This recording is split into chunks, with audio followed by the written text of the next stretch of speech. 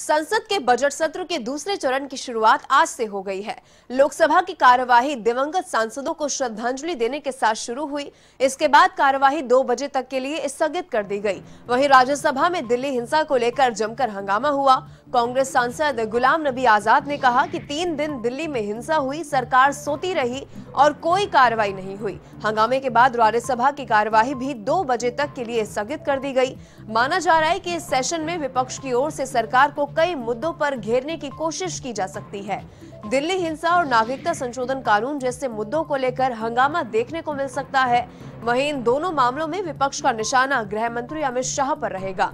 एक और जहाँ विपक्षी दलों ने सदन में सरकार को घेरने की तैयारी की है तो वहीं दूसरी ओर सरकार भी विपक्ष को जवाब देने को तैयार है। हालाँकि कांग्रेस सांसद में माफ़ कीजिए, कांग्रेस संसद में दिल्ली हिंसा का मामला उठाने का मन बना चुकी है और इसके साथ ही कांग्रेस इस मामले में कथित तौर पर दिल्ली पुलिस की नाकामी को जिम्मेदार ठहराते हुए गृह मंत्री अमित शाह से इस्तीफा भी मांग सकती है।